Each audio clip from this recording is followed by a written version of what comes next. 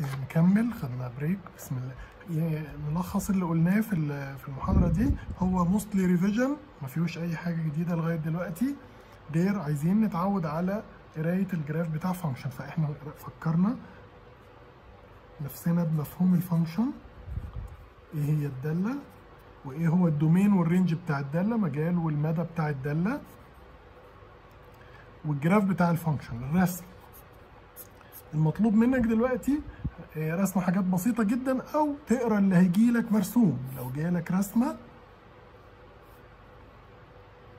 تعرف منها تحدد ال domain وال range وتجيب منها ال limit وتدرس ال continuity وال increasing وال decreasing أو ال monotony. ال monotony يعني آه، سلوك الدالة من حيث التزايد والتناقص اضطرادها الاضطراد. تزايد وتناقص فال homework والمفروض على الجزء ال part 1 و part 2 من ال lecture 2 دي كله على ال- الكلام اللي قلناه ده. graph ات كتير مرسومة تقراها تتعلم تقراها بالطريقة اللي أنا بقول عليها. كده يبقى إحنا عندنا أمثلة محسوسة وحيه في دماغنا إن أنا لما يجي لي رسمة بقيت أعرف أقراها. نحط النقط العظمى فين؟ الصغرى ال- نقول فين التنا- الزايد فين فترات التناقص وهكذا. كل دوت from the graph ده كل ده آه، اللي اتدربنا عليه وعايزكم تتدربوا عليه في التمارين اللي هبعتها لكم إن شاء الله والمساعدين هيحلوا بعضها معاكم بس أنتوا ما تستنوش لازم تعملوا أول بأول. طبعا بالنسبة لتحديد أيام وبننزل محاضرات إمتى كل دوت معتمد على ال- النت والكفاءة اللي إحنا بنعاني منها كلنا فأنا عامل full time stand by إن أنا أسجل وأستنى النت يشتغل وأبعت.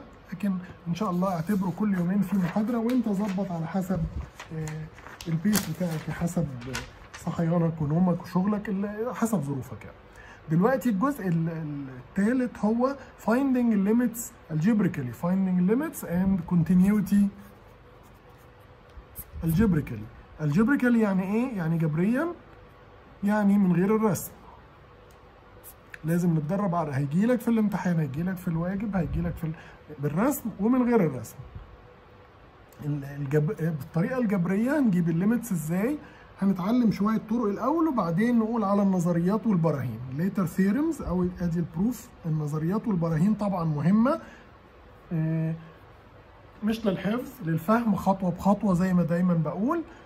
تعالوا النهارده الموضوع سهل مش هيبقى فيه براهين. هنخلي النهارده حساب و algebra بس وإن إحنا نقرأ الحاجات اللي قدامنا ونتعود عليها. ده جزء مهم. فتعالوا نشوف كل ده خدتوه تقريبا في تانية ثانوي هفكركم بيه. عندنا قوانين limit x اس n ناقص a اس m على x ناقص a لما x تقترب من a لما x بتساوي a بالظبط يبقى بنقسم على الصفر. ملوش معنى. أيوه ما إحنا قلنا ال limit مش معناها بيساوي. ال limit معناها بيقرب بس. Just approaches a. يعني بالقرب من a؟ سلوك الدالة دي إيه؟ بتقرب من كام؟ هنشوف ال limit دوت بيساوي إيه؟ هناخد القانون وهنبرهنه إن شاء الله. بس النهارده هنتعود على الحسابات الجبرية بس والحركات بتاعة الحساب ودي حاجة سهلة. وال limit ده برضو خدتوه limit sine x على x لما x تقول للصفر وهنشوف هو قد إيه مهم. وواحد تاني كمان آه، شبهه. بس لما ناخد ده الأول نقول اللي زيه. بس هنكتفي بدول آه، في الجزء ده. يعني كل الفقرة دي كلها هتكون تمارين وحساب تمسك الورقة والقلم وتحل. اللي بيقول أنا مش شايف الصورة أنا عايزه أعمل ال PDF لو سمحت امسك ورقة وقلم واكتب وحل معايا. وقف الفيديو وحل بإيدك. ما تستناش تتفرج. اللي هيتفرج هيفضل يتفرج مش هيحل حاجة بإيده. فمن فضلكم اعملوا اللي بقول لكم عليه علشان تقدروا تحلوا كويس من هنا لغاية الامتحان. في يوم الامتحان يبقى piece of cake إن شاء الله. تبقى مبسوط تدخل تطلع مبسوط. هيبقى عندك امتحان طويل وهيبقى عندك امتحان نصفي وهيبقى عندك امتحان آه، شفوي. كل دوت هيتعمل في يوم الامتحان لأن مش هنقدر ننظم آه، إجراءات الاحترازية بتاعه ال- الظروف اللي إحنا فيها للعدد الضخم اللي داخل ال- ال course آه، في أي في كذا يوم. يعني هنعمله في يوم واحد كله إن شاء الله. فلو سمحت تكون متدرب كل يوم تشتغل اللي أنا بقول لك عليه الدنيا هتبقى جميلة جدا وهتحب المادة وهتعرف تقرأ ال graph هتقدر تحل ال limits تجيب ال derivative تجيب ال integral كل الحاجات هتبقى جميلة إن شاء الله. فإزاي نعمل الليميتس عايزين نعملها باستخدام الجبريا بالطرق بس. دي طرق حساب النهايات طرق حساب النهايات يعني هناخد دلوقتي بس مسائل مش كله براهين و... و... وزي ما بيقولوا حفظ لا مفيش حفظ خالص. والبراهين جميلة بس ساعات أجل البرهان لغاية ما نتعود على اللي بنعمله بالرموز وبمثال محسوس عشان يخلي البرهان أسهل. في عندنا طريقة ال factoring أو التحليل وفي طريقة القسمة division تحليل تحليل إيه؟ تحليل ال algebra. اللي مش فاكر يفتكر. امسك الورقة والقلم وحلل واشتغل معانا والدنيا هتبقى جميلة. conjugate يعني إيه؟ المرافق. إيه المرافق؟ يعني واحد زائد جذر اتنين مرافقها واحد ناقص جذر اتنين. x ناقص آه تلاتة. إكس ناقص جذر إكس ناقص تلاتة. مرافقها جذر x زائد تلاتة. بيعمل إيه المرافق؟ هنشوف هفكركم بيه دلوقتي. وبالقوانين. ففي بالتحليل والقسمة. ليه اعمل القسمة مع التحليل؟ لأن القسمة بتعمل طريقة للتحليل. القسمة بتديني طريقة تحليل لحاجات ما ما اتعلمناهاش في طرق التحليل يعني. وفي formulae أو formulas قوانين. هنتعلم القوانين دي أو النظريات دي ونستخدمها في إيجاد ال limits واحدة واحدة مع بعض بس النهارده مش هبرهن النهارده هحل بس تمارين علشان تمشوا ايديكم وتتدربوا على قراية الرسوم زي الجزء الأول وحل ال limits وال continuity جبريا. يعني إيه ال limits وال continuity ال limits قلنا هنحسب ده. طب ما هو ال limit مرتبط بال continuity فورا. أول ما بحسب limit بقدر أقرر الدالة continuous ولا لأ. عند النقطة اللي بنقرب منها دي. يعني لو ال limit ده لما x بتقرب من a طلع موجود. يبقى الدالة متصلة؟ لأ لسه. تحسب f of a لو f of a مش موجودة يبقى مش متصلة. لو f a موجودة وقد ال limit تبقى متصلة. خلاص. بسيطة جدا. زي ما قلناها مع ال graph هنقولها مع ال algebra هنقولها مع الحسابات الجبرية. تعالوا نبدأ أول مثال في حساب ال limit جبريا limit هنبدأ بمثال سهل فيه تحليل سهل X cube ناقص 8 على 3 X square ناقص 12 عشان لما X تقرب من 2 قلنا التعويض المباشر عن X ب 2 ادي ال function هنا function كسرية. طبعا ال domain بتاعها ديت سهل نقدر نجيبه. لو كان مش المطلوب limit مطلوب domain إيش المشكلة هنا؟ مشكلة واحدة اسمها. اللي فوق ده ما, ما عندوش مشكلة ده polynomial واللي تحت دي polynomial بس تحت. polynomial تحت أو أي حاجة تحت لازم ما تكونش صفر. لازم ما تكونش صفر وإلا نقسم على الصفر. أهو طبعا هنا مش مطلوب ال domain ولا حاجة. لو عوضنا عن X ب 2 هيديني هنا الأول دي الخطوة الأولى تعويض مباشر. لو طلع كلام آه real مفيش فيه قسمة على صفر مفيش فيه حاجة مشكلة خلاص هو ده الداله تبقى معرفة وال limit موجودة وبتساوي القيمة دي. فنعوض عن f of 2 فتعالوا نشوف كده f of 2 يبقى نشيل X ونحط 2 زي قيمة أي دالة. 2 cube ناقص 8 أدي 0 فوق. وتحت 2 3 في 2 square يبقى 3 في 4 ب 12 ناقص 12 يساوي 0 على 0 0 على 0 دي نعمل كده. حط بين قوسين زي ما بيقولوا كده.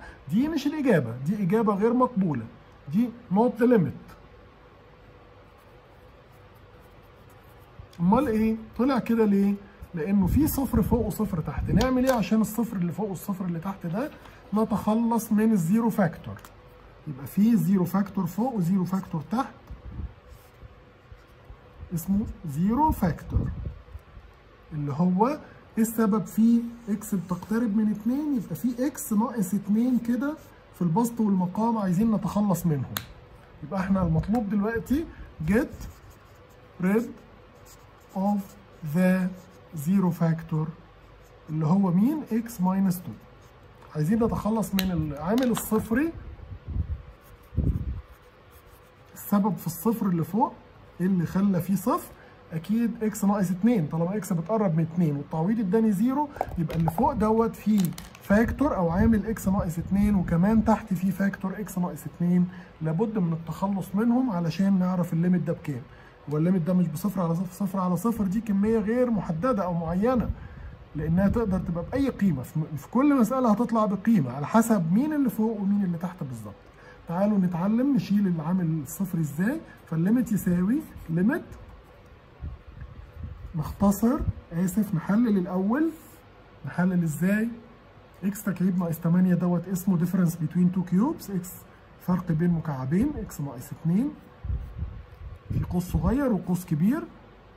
مش فاكر الكلام ده. لازم يفتكره اللي مش عايز يفتكره خلاص يستنى لما يبقى عايز يفتكره ويحب يمسك القلم ويعمل ال algebra ويعمل calculus هو دوت العدة بتاعتنا. هنا بنعمل square للأول. عكس الإشارة دي plus 2 X plus 4 مش الأول في الثاني في 2 زي فك المربع الكامل لأ دوت الأول في الثاني بعكس الإشارة بس من غير 2 دوت فك فرق بين مكعبين وزي مجموع, مجموع كمان المكعبين كده. إيه اللي تحت دوت طبعا نقدر ناخد ثلاثة عامل مشترك. يبقى X square minus 4 نعملها هنا. طبعا أنا كاتب كلمة limit ليه؟ لأنه لسه ما اتحسبش. أمال أنت بتعمل إيه؟ أنا هعمل الاتي X square minus 4 ده طبعا أسهل حاجة في الدنيا للتحليل اسمه difference بين two squares X minus 2 times X plus 2 آدي فرق بين مربعين تحليله سهل جدا أي حد في أولى إعدادي يعرف. نسيته؟ أعرف. أمسك القلم واكتبه. دوت كده ده طبعا مش كتابة رسمية دوت مجرد note عندي. ده ال zero factor ودوت ال common factor اللي خدته هنا عشان أحلل مرة واحدة. هتلاقي إيه اللي حصل؟ آه ظهر ال zero factor أهو. ال X minus 2 السبب في الصفر اللي فوق ده هي دي القوس ده. وال X minus 2 اللي تحت دي هي السبب في الصفر اللي تحت ده. هو ده ده نختصره مع ده. القوس ده مضروب والقوس ده مضروب عشان كده بنعمل factorين. التحليل يخليني لما القوس هو هو أو الحاجة هي هي اللي فوق مضروبة تحت أو موجودة فوق وتحت ومضروبة نقدر نختصرها فورا يعني limit ال function اللي انت عايزها هي limit ال function بعد الاختصار ديت theorem في ال limits هنجمع كل ال theorems بتاعت ال limit ونشوف إيه اللي إحنا هنقدر. أو مطلوب مننا نثبته ونعرف برهانه جه منين بالظبط. ونعمله إن شاء الله. آدي limit X استفدت إيه من الخطوة دي؟ ال zero factor اختفى. فنعمل إيه؟ نعوض تاني. نرجع للخطوة الأولى ونعمل تعويض مرة تانية. يعني ال limit بتاع دي هو الليميت بتاعها من غير ال zero factor فوق وتحت. فنكتب تاني X square plus 2 X plus 4 وتحت التلاتة دي التلاتة دي ممكن تطلع بره من دلوقتي لأنها ثابت ممكن يطلع بره هنا يبقى واحد على تلاتة بره والباقي هو لأنها مش هيسبب أي إزعاج لحد. X plus 2 خدوا بالكم X plus 2 مش zero factor X minus 2 هو ال zero factor فلو كان X minus 2 zero factor يبقى X plus 2 مش zero factor لأنه لما نعوض عن X ب 2 هنا بيسبب صفر يبقى هنا مش هيسبب صفر مش ممكن يسبب هنا وهنا. لأن x بتقترب من حاجة واحدة. فبنشوف السلوك بتاع الدالة دي أو ال function دي عند نقطة بعينها. دلوقتي نعوض مرة ثانية ولو طلع صفر على صفر تاني هعيد نفس القصة تاني واحلل تاني وازيل ال zero factor تاني وهكذا. فتعالوا نعوض. f of 2 نعوض عن الاثنين يبقى 2 square plus 2 times 2 plus 4 over 3 times 2 plus 2 gives طبعا واضح إن مفيش صفار ولا حاجة. أدي 4 زائد 4 زائد 4 على 3 في 4 هي دي الإجابة. خلاص بقينا real number مفيش فيه حاجة. مش undefined ولا undetermined ولا حاجة. أدي 12 over ولا ممكن نكتب دي 3 في 4 ودي 3 في 4 خلاص على 12 يساوي 1 صحيح فده معناه إيه؟ لو تفتكروا بقى اللي إحنا قلناه في الرسم لو الرسم ال functions دي اترسمت هيبقى عندها مشكلة عند حاجتين. هيبقى عندها gap عند الاثنين وعند الناقص اثنين عندها مشكلتين عند الاثنين undefined وعند الناقص اثنين undefined. فالرسم بتاع ال fractional function المعقدة اللي زي دي مش هنقدر نعمله دلوقتي. عايز تكنولوجيا كبيرة هناخدها إن شاء الله لما ناخد sketching the graphs في آخر ال differential calculus إن شاء الله. لكن مش مطلوب دلوقتي مطلوب دلوقتي نعمله بس algebraically طبعا في مسائل كتير جدا على finding the limit using factorization أو factoring الكلمة اللي تحب تقولها الاثنين زي بعض التحليل أو القسمة. قسمة إيه؟ آه اوريكم طريقة القسمة. اللي مش حافظ قوانين التحليل دي يقدر يعمل طريقة القسمة. هحل نفس المسألة بس باستخدام طريقة القسمة.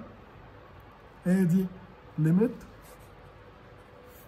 x cube minus 8 over 3 x square minus 12 على لما x تؤول للاثنين دوت اداني 0 على 0 فلازم to get rid of the zero factor يبقى في zero factor اللي هو مين؟ لازم تحدده فورا. من هنا بيتحدد. X minus 2 ده ال zero factor طالما طلع لي فوق zero يبقى ده موجود فوق وده موجود factor يعني عامل مضروب وده يتحلل يساوي x minus 2 في حاجة ثانية وده كمان يساوي x minus 2 في حاجة ثانية نقدر نحلل؟ أوريكم التحليل إزاي. آسف نقدر نقسم. by division أو long division method long division method طريقة القسمة المطولة. إيه تعالوا اللي اللي مين هنقسمه؟ اللي مش عارف تحلله اقسمه. هما هنا الاثنين سهلين وحللتهم ووريتكم. بس تعالوا نعمل طريقة القسمة المطولة للاثنين آدي 3 x تربيع ناقص 12 سبت مكان لل x وبنعمل كده ده المقسوم وهقسم على x ناقص 2 مين x ناقص 2 دي؟ ده zero factor. اللي أنا عارف إن هو لازم يكون موجود طالما في zero طلع. نقسم إزاي؟ نقسم ال leading term على ال leading term ده هنا مترتب تنازلي وهنا مترتب. وأدي الحد الأعلى 3 x تربيع على x بس نقسمها يطلع 3 x. بس كده نضرب بقى ال 3 x دوت في المقسوم عليه. 3 إكس في إكس يبقى 3 x square 3 x في ناقص 2 يبقى ناقص 6 x. هو عشان كده أنا كنت سايب المكان ده فاضي. وبعد كده نعمل طرح. نطرح اللي فوق ده ناقص اللي تحت. فدوت الأولاني بيضيع والتاني ناقص في ناقص يبقى يتغير الإشارة وتبقى زائد. قسمة مطولة عادية جدا زي القسمة بتاعت ابتدائي. أنتوا واخدينها أصلا يعني. فآدي 6 x وآدي minus 12 أهي. ونكمل القسمة for sure القسمة دي هتخلص لأن ال zero factor أنا عارف إنه موجود. ادي 6 x ناقص 12 نقسمها تاني. نفس اللي عملته فوق أعيده تاني. هي algorithm أو هي طريقة بنعيدها لغاية ما نخلص. فال6 x هنقسمها على ال x ال leading هنا على ال leading هنا الحد الأعلى على الحد الأعلى. 6 إكس على إكس يبقى plus 6 خلصنا؟ نعمل نفس القصة مرة ثانية الستة دي هتتضرب في المقسوم عليه. ونكتب الإجابة هنا. 6 في x يبقى 6 x 6 في ناقص 2 يبقى ناقص 12 بعد كده بنطرح ده. والطرح معناه نغير الإشارات ونجمع. 6 إكس ناقص 6 إكس ضاعت ناقص 12 ودي بقت زائد 12 ضاعت. دي ناقص خلاص. يبقى النتيجة 0 plus 0 خلاص. يبقى يساوي 0 يبقى باقي القسمة صفر يبقى فعلا يقبل القسمة. يبقى اذا 3 x تربيع ناقص 12 أو 3 x square minus 12 equals فعلا ال zero factor x minus 2 مضروب في ال quotient اللي طلع لي خارج القسمة ده نحطه بين قوسين. ده اسمه ال divisor وده اسمه ال ال خارج القسمة اللي هو ال quotient اللي هو طلع كام؟ 3 x زائد 6 طبعا المنظر 3 x زائد 6 دوت فيه عامل مشترك 3 اللي هو كان موجود من الأول. اللي واخد باله وبيحلل من الأول هيكون طلعه. لكن هنا أنا بحل حل اللي مش شايف ومش عارف وبيقسم على طول. آدي القسمة. دي طريقة القسمة للي تحت نعمل كمان مرة أخيرة للي فوق. اللي هو x تكعيب ناقص 8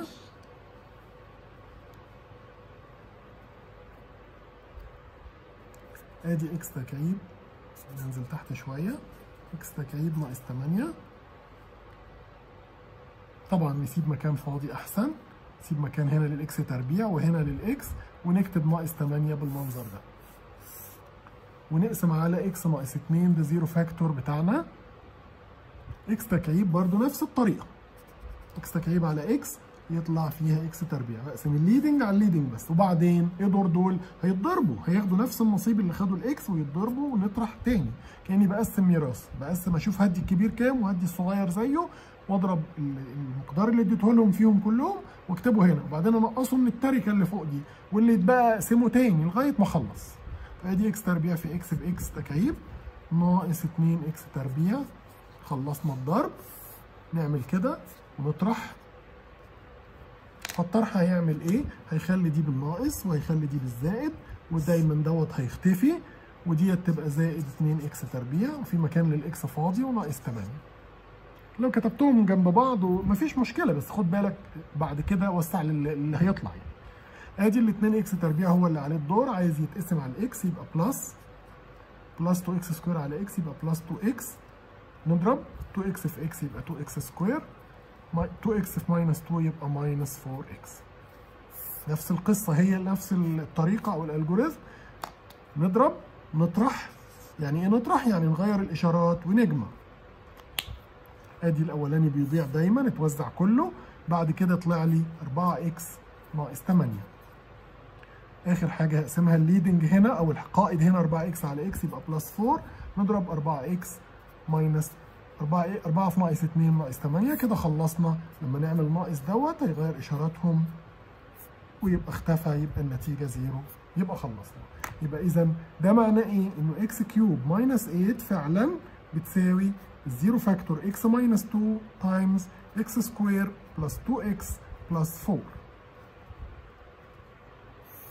طبعا دي ده مثال كان ينفع يتعمل من غير القسمه من غير ال division أو ال long division method كان ينفع لأنه دوت difference بين two cubes واضح جدا لكن في أمثلة مش معروفة طريقة التحليل بتاعها ما خدناهاش. يعني أنتوا خدتوا كذا طريقة تحليل في بعض طرق التحليل اللي أنتوا ما خدتوهاش. البديل ليها هو القسمة فاللي هي اللي هي بيعرف يحلل كويس يتكل على الله اللي مش عارف يحلل يتدرب على طريقة القسمه والعملية هتبقى سهلة. هيبقى عندكم أمثلة وتمارين على الكلام ده لازم تتدربوا عليه. تاني نرجع للعنوان اللي قلناه. إحنا قلنا إيه؟ by factoring by division by conjugate ناخد مثال على ال conjugate ونشوف فايدته إيه.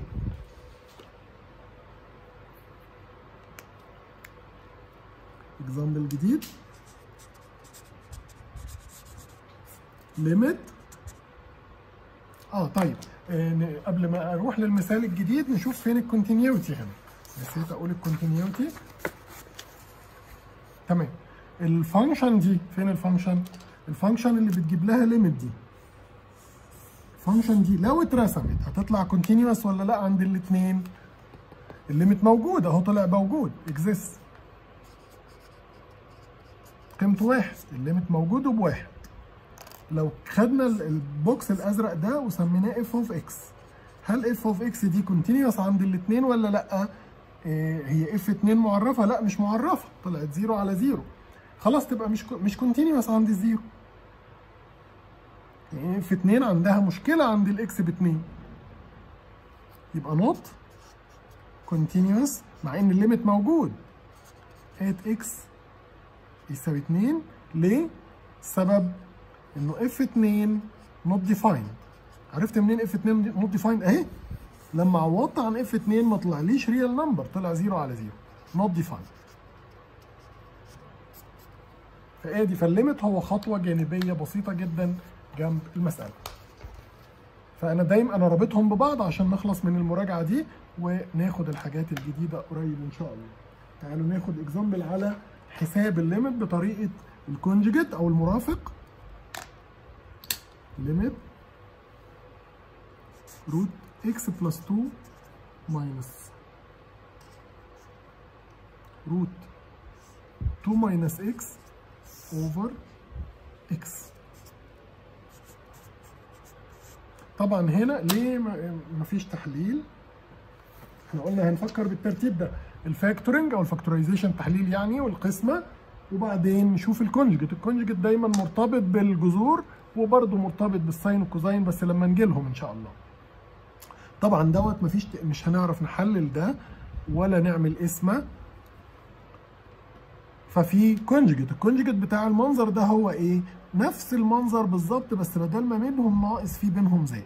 بس قبل كل ده فين. فين التعريف؟ لو كانت دي f of x فين f zero يمكن تطلع معرفة وكويسه لا مفيش أمل لأنه x تحت فبنقسم على ال zero خلاص فالنتيجة f zero بيساوي إيه؟ f zero not defined تعال نعوض. آدي root حط x ب zero يبقى root 2 حط x ب zero يبقى root 2 حط x ب zero يبقى zero هنا. root 2 minus root 2 يبقى zero على zero. zero على zero دوت إيه؟ خلاص. خلاص إيه المسألة خلصت؟ لأ.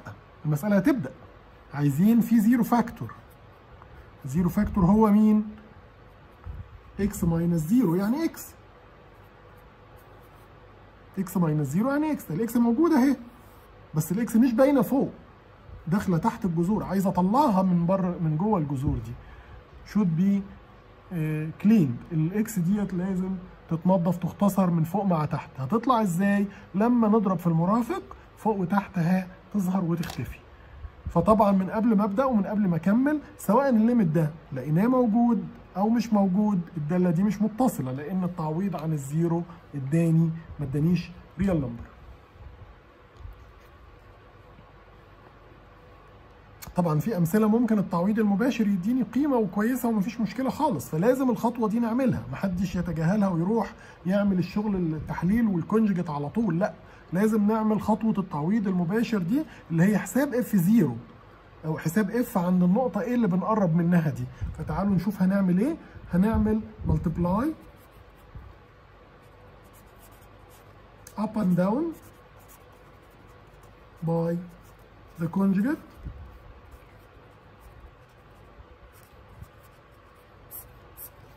of the numerator. هنضرب في مرافق البسط اللي هو نفس المنظر ده الكبير ده كله بس بينهم هنا زائد. دوت بيعمل إيه؟ بيت... بيخليني أتخلص من الجذور دي. طب ما هي هتطلع تحت. أيوه بس هتطلع plus هتطلع بينهم زائد. لو دوت مسبب لك zero فالنسخة بتاعته اللي بالزائد بدل الناقص مش هتسبب zero. فمفيش فيها مشكلة. تعالوا نشوف هنعمل إزاي. أدي ال limit بيساوي ال limit ال limit ما اتحسبش فهيتكتب لغاية آخر خطوة لغاية ما نحسبه. ادي نعمل اقواس بقى كبيرة جدا كده. x plus 2 minus root 2 minus x ادي اقواس تخلص كده. ونضرب بقى في اللي أنا جايبه من عندي ده. نفس المنظر. هو هو. x plus 2 وهنا plus هو ده اللي من عندي. root 2 minus x فضربت فوق في حاجة لازم تضرب فيها تحت. ادي ال x اهي. ونفس المنظر ده هعمله مرة تانية تحت. خد بالك التعويض في ده مش مشكلة. ده مش zero factor ده اللي zero factor ده اللي بيسبب الصفر. ودي لم الفكرة كلها إن إحنا لما نضرب دول هيطلع لي إكس فالاكس اللي فوق اللي هتطلع دي تختصر مع ال x دي. هي دي الفكرة بكل بساطة. x plus 2 plus root 2 minus x دي هنسيبه كده مش هنوزع ولا حاجة. هنسيبه كده أنا أملي إنه يطلع لي x هنا وتختصر مع دي. فتعالوا نشوف هيحصل إزاي ده. limit لما x تؤول للصفر. وده محتاجك تعرف تفتكر إنه a ناقص b في a زائد b تتفك إزاي. A minus b في a plus b. ده أسهل فك في الدنيا. A square minus b square فك ال difference بين two squares ال a square minus b square لو عايز تحللها تخليها a minus b times a plus b. العكس بقى. لو عايز a minus b في a plus b تضربها و to expand تفكها تطلع المربع الأول ناقص مربع الثاني a square minus b square السبب بسيط جدا. A أدي في a ب square الضرب الثاني هيطلع a b وده هيطلع ناقص a b فبيضيع الحد الأوسط. الحد الأخير ناقص b في b يطلع ناقص b تربيع. فهي سهلة جدا. محدش أظن ما يعرفهاش. هي السر فلما نضرب هنستفيد إيه بصوا كويس. ده A ناقص B في A زائد B. فلما نضرب ال A في جذر X زائد 2 في جذر X زائد 2 يعني في نفسه طبعا الجذر تربيع يختفي الجذر. يبقى ديت كل اللي أنا عندي بقى X زائد 2 من غير جذر. آدي ال A square اللي بتاعتي وآدي ال minus وآدي بقى ال B square هتطلع لي برده خدوا بالكم من غير أقواس كل حاجة هتبوظ. لو ما عملتش أقواس هتشوف كل حاجة غلط. فانتبه للأقواس لو سمحت. فادي ال b اللي هو الجذر ده لما يتربع يختفي الجذر ويطلع لك 2 minus x بين قوسين. ليه هيطلع غلط؟ لو نسيت الأقواس هتشوف الناقص 2 بس مش هتشوف ناقص في ناقص x في ناقص بينهم فلازم نحط أقواس. وتحت ال x زي ما هي وال... وال... والقوس ده ما تخافش منه خالص. طالما اللي مسبب ال zero بالناقص وانت جبت ال conjugate بالزائد خلاص. ده المشكلة ده مش مشكلة. يعني التعويض فيه مش هيدينا zero ولا أي إشكال. فآدي root x plus 2 plus يعني التعويض المباشر. إحنا هنعوض تاني؟ أيوه طبعا.